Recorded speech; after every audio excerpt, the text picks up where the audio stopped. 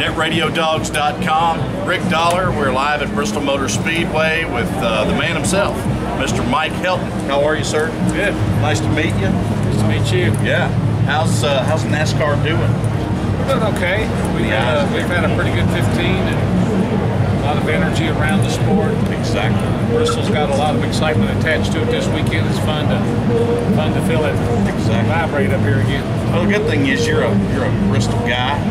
So you grew up here, John Battle High School, and went to King University. So hey, I know my way around the streets. know your way there. I don't, around, yeah. get, I don't have to get out my GPS around. exactly.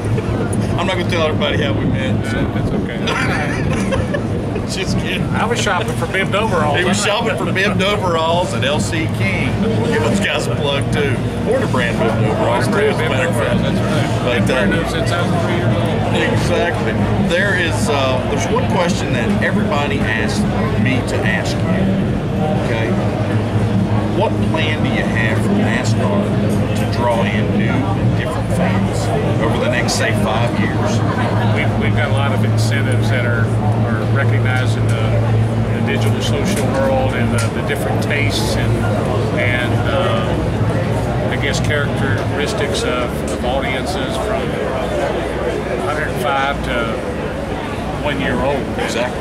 And, and that's a challenge. I mean, that's that's on everybody's plate to figure out. And certainly we've got initiatives in place with, uh, with programs at, at, uh, at school levels and programs at the family level. Uh, we changed rules and regulations at the racetracks to, or from NASCAR's areas at the racetrack to encourage families to attend so that they, the children can, can see the sport and, and be enthralled as we were saw it. And so we've, we've got education programs, we've got science and technology programs, STEM programs, we've got we've got outreaches, we've got inclusion, we've got multiple uh, tiers of, of efforts going on to, to tell the story of NASCAR to anybody that'll give us 30 seconds to talk about that. I got you.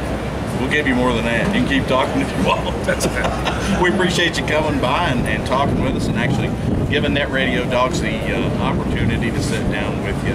Um, what does the future hold for Mike Helton? Well, I'm on the I'm on the outside of my curve, I guess, but but I've enjoyed a lot of years watching the sport develop and grow, and, and consider myself one of the most fortunate persons on the earth that, that have been in this era, uh, uh, watching the first bulldozer turn over dirt here. Exactly. Uh, when, the, when the guys, uh, Larry Carrier and Carl Moray, decided to build this racetrack, I had no clue what that meant at that age. Uh, but to have fallen in love with it and, and to be a part of it, I've, I've certainly had a great career.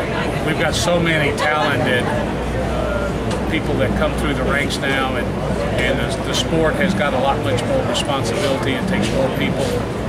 So it's been a, it's been a extremely enjoyable and fortunate experience for me. But, but you know, I, I've got a few years left in me, not as many as I'd like to think I had, but but uh, there's a lot of the best there's a lot. We, the calendar catches up with all of us, so we, we have to be respectful of that. And, but but I've, I've enjoyed sitting back watching the enthusiasm and the energy of the new people that show up and, and are excited to be part of NASCAR, whether it's in our organization or the, with the teams or the, the industry players. It's, it's fun uh, to watch that enthusiasm uh, in their faces. We remember when we became fans of the sport. Oh, yeah. How it hooks you. It And it becomes part of your lifestyle. It does. True, true. Noticed a lot of the uh, sponsors are changing more to family oriented sponsors. Okay. And that's a, a good positive thing to see. And of course, that's going to help, uh, you know, bring the right people in to the sport. And they're going to, somebody that would normally not sit down in a seat to come and watch a race, they're going to be.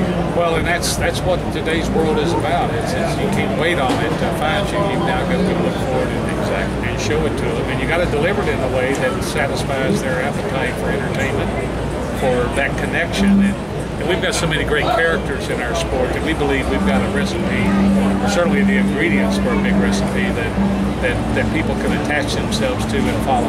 They do, that's for sure. Mike will let you get back to what you got to do. Yes, sir. Rick Dollar with NetRadioDogs.com, and I'm here with Mike Helton.